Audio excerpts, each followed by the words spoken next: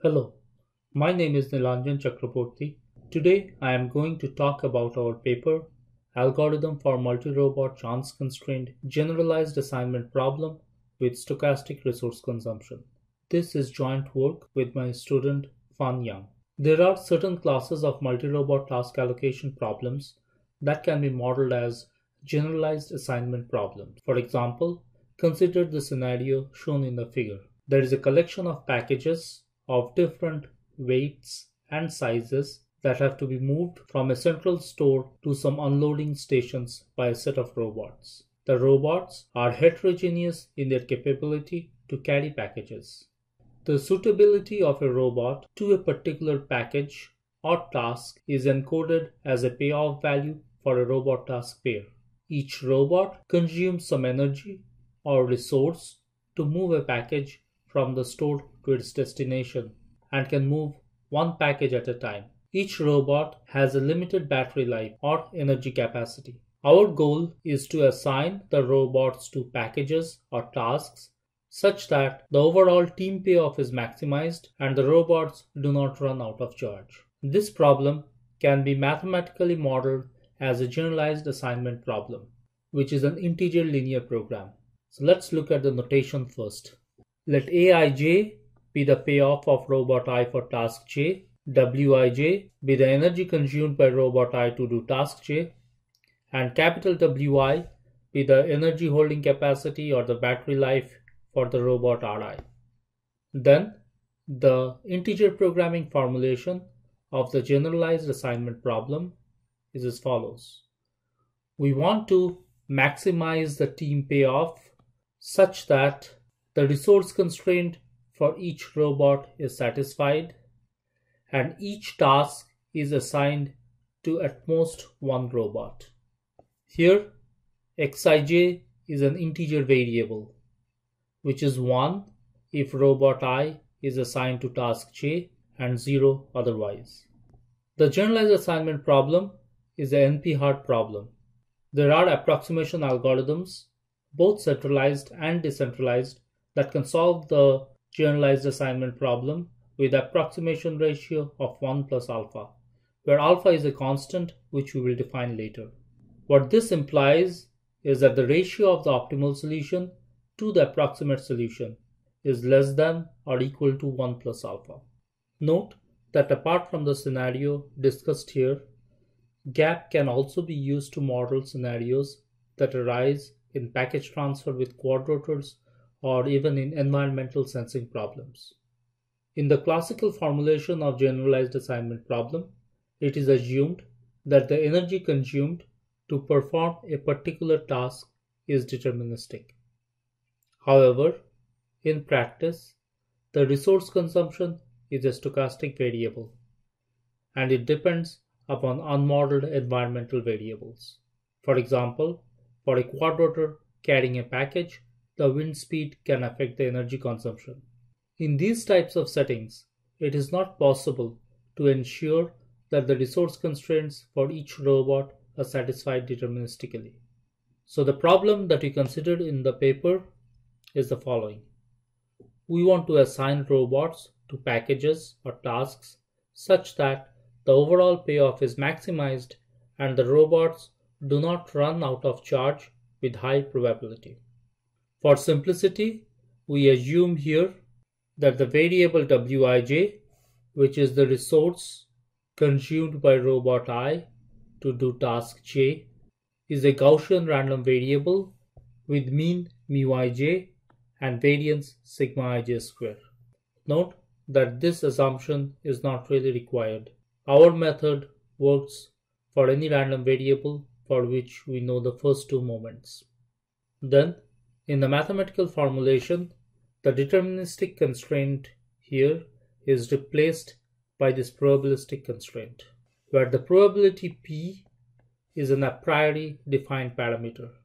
It can be, say, 0.99. We will call this formulation on the left hand side the chance constraint generalized assignment problem. There is some literature that looks at stochastic generalized assignment problem. In some cases, the payoff parameter is assumed to be a stochastic parameter. In some cases, the resource consumption parameter is assumed to be a stochastic parameter. But most of these problems are modeled as two-stage stochastic optimization problem with recourse action. This means that you make the decisions while ignoring uncertainty. Then the uncertain resource consumption variables are revealed and one is allowed to change the assignment based on the realized value of the uncertain variables. However, there is some penalty for changing the decision. The two-stage stochastic optimization problem is not an appropriate model for multi-robot applications because we cannot know the energy consumed before executing the task. The key contribution of this paper is to present an algorithm for solving chance-constrained generalized assignment problem with constant factor approximation guarantee. To the best of our knowledge, this is the first algorithm with constant factor approximation guarantee for CCGAP. In particular, we developed an algorithm for solving CCGAP by solving a sequence of chance-constrained knapsack problems. Each robot can solve its own chance-constrained knapsack problem by solving a sequence of deterministic knapsack problems. This was shown in our previous work. Furthermore, the solution of the chance-constrained knapsack problem has the same approximation ratio as the deterministic knapsack problem. We also proved that our algorithm for solving chance-constrained generalized assignment problem is 1 plus alpha approximate when we use an alpha approximation algorithm for solving the deterministic knapsack problem. This guarantee is the same as that of the deterministic generalized assignment problem. If we use a subroutine for solving the deterministic knapsack problem, which gives an optimal solution, then our approximation algorithm is within a factor of 2 of the optimal solution. The practical implication of this fact is that we can get a solution with reliable and guaranteed team performance while ensuring that none of the robots run out of fuel with high probability. And this result is irrespective of the realization of the random resource consumptions. To solve the chance constraint generalized assignment problem, we first study a subproblem called the chance constraint knapsack problem or CCNAP in short. The chance constraint knapsack problem arises if we consider only one robot in the robot team. Let K be the index of the robot. In the chance constraint knapsack problem, we want to assign a set of tasks to the robot such that the total payoff of the robot is maximized while ensuring that its fuel constraint is satisfied with high probability P. The chance constraint in the form written here is inconvenient mathematically. However, assuming that the WKJs are independent random variables, we can rewrite the chance constraint as shown here. Here, C is a constant which depends upon the probability P. The integer program formed by replacing the chance constraint with the expression shown here is no longer a linear integer program. It becomes a quadratic integer program, which is difficult to solve in general. We propose to solve the chance constraint knapsack problem by solving a sequence of integer linear programs is known as the risk-averse knapsack problem or RANAP in short. The difference between the risk-averse knapsack problem and the chance constraint knapsack problem is the parameter c here is replaced by the parameter lambda and wk is replaced by some w prime. Note that solving the risk-averse knapsack problem is same as solving a deterministic knapsack problem with wkj equals to mu kj plus lambda kj square and capacity w prime. The parameter lambda is known as the risk aversion parameter. To get an intuition behind our algorithm, let us first look at a geometric view of our problem. For a given set of tasks assigned to a robot K, the total energy consumed is a random variable. That random variable will have a mean and a variance. So the energy consumed can be treated as a point on the variance mean plane. The probabilistic constraint or the chance constraint defines a parabola in the variance mean plane, which is shown by the shaded gray region. The linear constraint in the risk-averse problem is the triangular shaded region below the straight line shown in the figure. Now, the optimal solution of the chance constraint knapsack problem is the optimal solution of risk-averse knapsack problem with appropriate choice of parameters lambda and w prime. And our goal in developing an algorithm is to search for this lambda and w prime. Note that if the optimal solution of a risk-averse knapsack problem is located in the feasible region of, of the chance-constrained knapsack problem, then this solution is the optimal solution in the intersection of the two feasible regions Ci and R, and we call this Ri. If we can find a set of solutions with Ri such that the whole region under the parabola can be covered by the union of these Ri's, then we can find the optimal solution. And that will be our strategy to find the optimal solution. Now that we have an idea of how to solve the chance constraint knapsack problem, let us look at the solution for the chance constraint generalized assignment problem.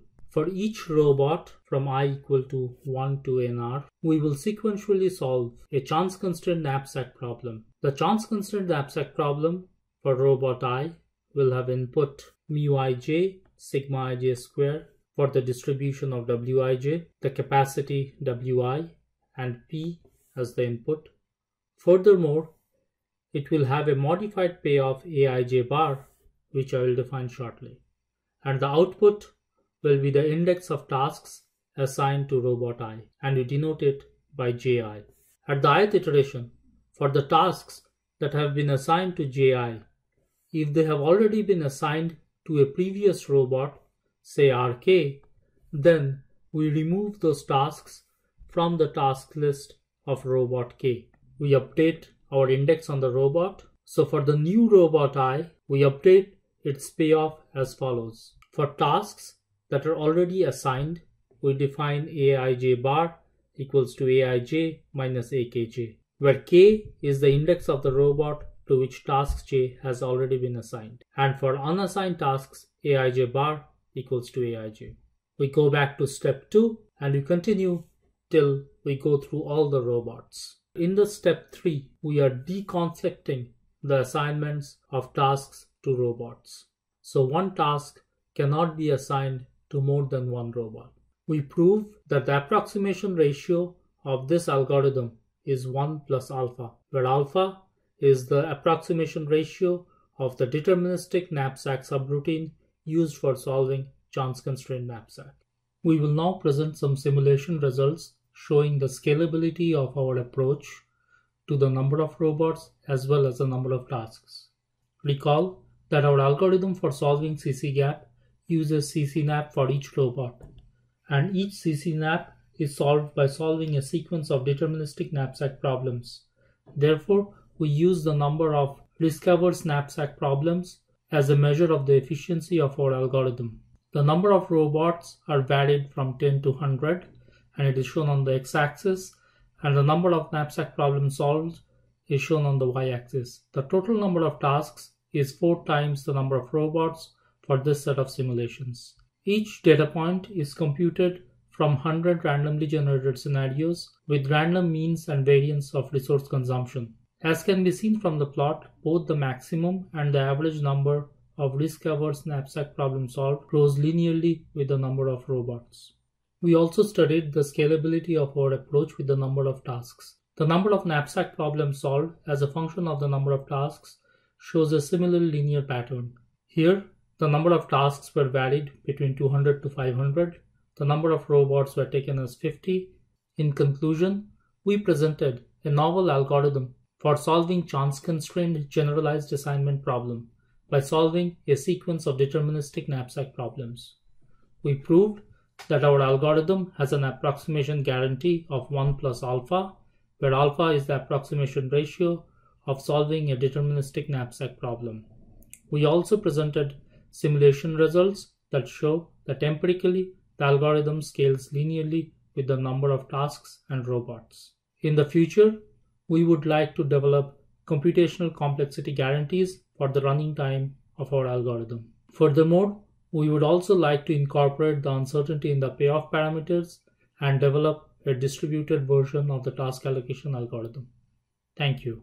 These are the references used in the presentation.